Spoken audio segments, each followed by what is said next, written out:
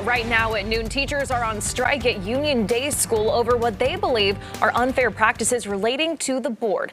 Parents were notified last night that the school will have to be closed for the rest of the week due to lack of available staff. The charter school's popular principal was abruptly fired, but as our Lindsay Klein found out, that's just one of several reasons that parents and teachers are just plain upset.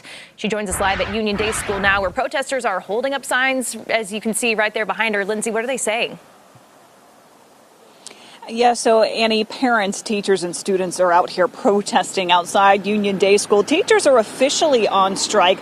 They want answers as to why popular principal Matt Hamilton was fired, but that's not all. They have several other questions as well, including financial questions as well as hiring and firing processes of other members. They say the school board's not being transparent about decisions being made and there's no accountability.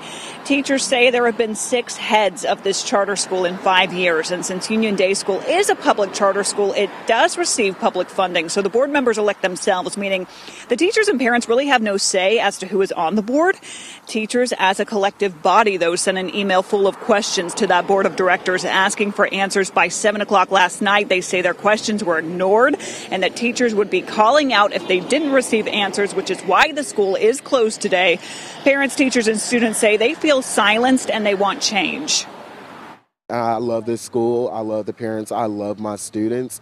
Um, but the board has showed me that my voice as a teacher will never be heard, and I don't mean anything. I'm just feeling really sad because this school is seriously what brings me up.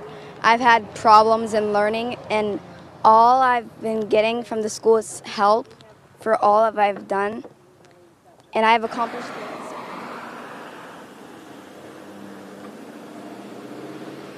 So teachers say they want to see resignation of the board members and that they'll be out here until they see changes made and the school will be closed for the rest of the week.